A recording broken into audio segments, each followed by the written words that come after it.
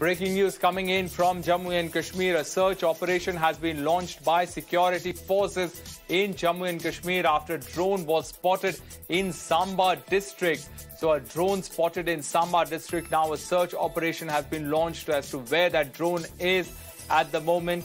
Uh, this happening in the Samba district of Jammu and Kashmir. Remember, Pakistan has been repeatedly uh, using drones to drop drugs as well as explosives uh, in the Indian territory. Now, a search operation has been launched in the Samba district of Jammu and Kashmir after another drone has been spotted uh, by the security forces earlier in the day.